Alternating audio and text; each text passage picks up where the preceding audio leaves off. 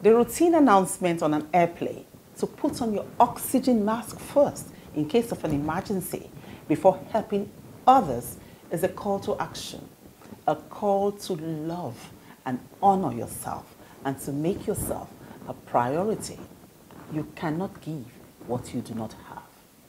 Self care and self love is essential to living your best life. It's on that note that I welcome you to Amazing Grace with Bose. Today, we will focus on why it is important to put on your oxygen mask. When you hear the word oxygen, what comes to your mind? Well, we all know that we need oxygen to survive. If your oxygen level becomes low, then your life is threatened. Usually, when you board a flight, you will see and hear the flight attendant demonstrating safety procedures. You will often hear them say, should the cabin lose pressure, oxygen mask will drop from the overhead cabin. Please place the mask over your mouth and nose before assisting others.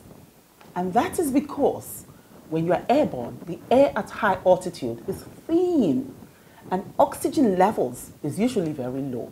So aircraft have a system in place to ensure the cabin air levels are normal and compatible with human life. So, in an emergency, passengers usually have just seconds to put on their oxygen mask.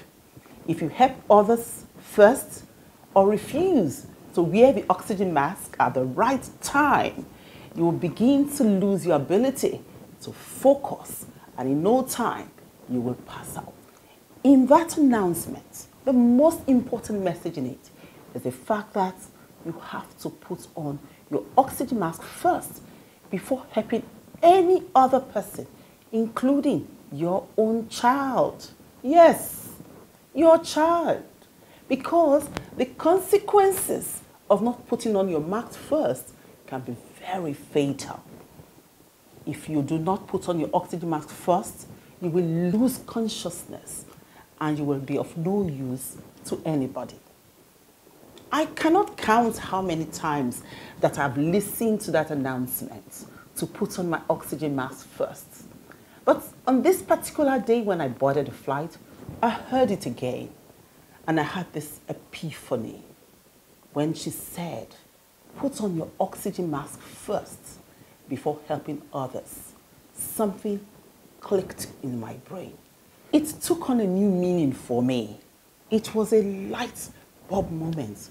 And I said, hmm, okay, I get it.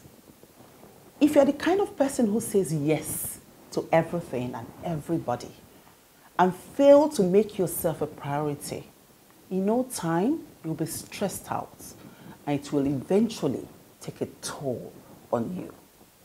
The truth is, at the end of the day, when you die because of stress, because you have neglected yourself, life will go on. And guess what people will say? Including some of the beneficiaries of your sacrifice, selflessness, and your benevolence. They will say, oh, oh my meaning, what a pity.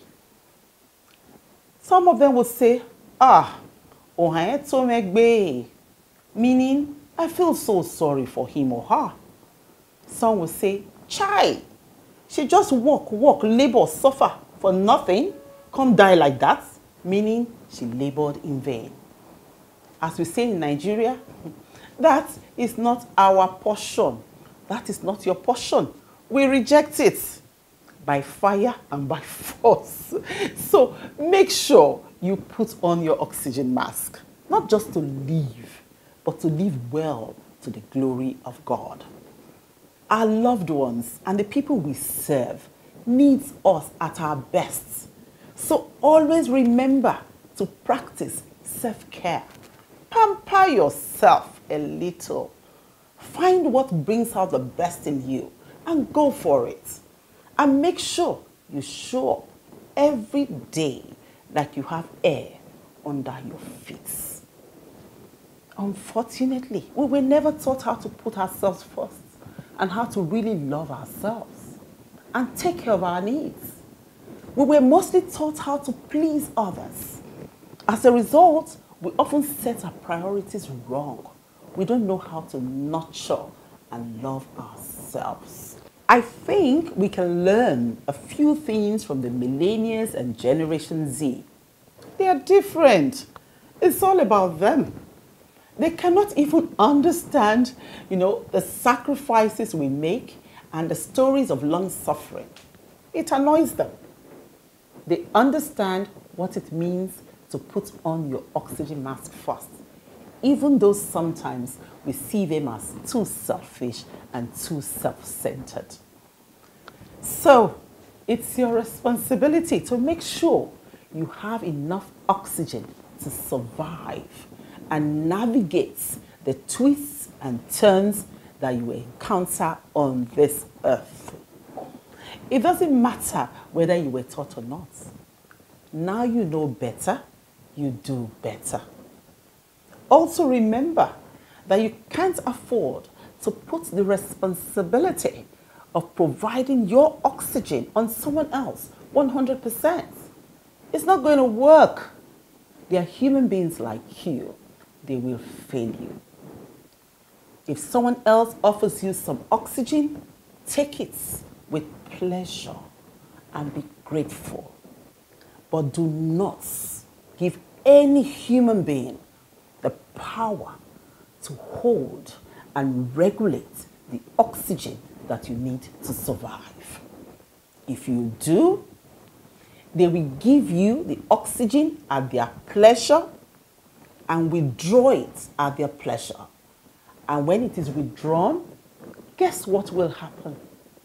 You will suffocate. And I'm sure you don't want that. The key, therefore, to ensuring that your oxygen level is intact at all times is to love and honor yourself. Loving yourself involves a whole lot. It's up to you to determine what loving yourself means. is different for everybody. Find what it is for you. Learn to invest in your physical and mental well being. Mm-hmm. Try not to miss out on what gives you joy and happiness. You have to be intentional and deliberate about your well being. Do you have your oxygen mask on? Or are you grasping for breath? Are you suffocating? Let me tell you, life will go on without you. Yes. So, resolve today to put on your oxygen mask first and prioritize self care. So, when next you hear the flight attendant reminding you to put on your oxygen mask first in case of an emergency, remember that it's a call to take action and to love yourself so that you can have enough love to give to others. And it's a wrap. That's our show for today. Thank you for watching. Until I come your way again, make sure to put on your oxygen mask.